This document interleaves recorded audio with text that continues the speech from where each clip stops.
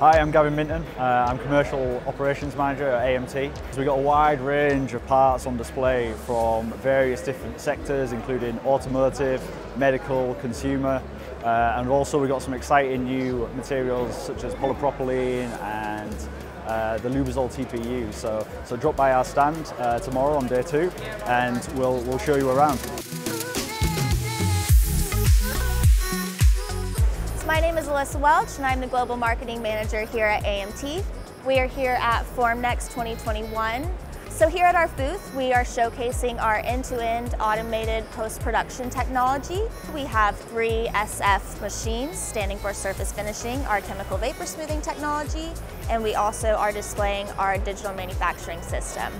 Come and see us on day two.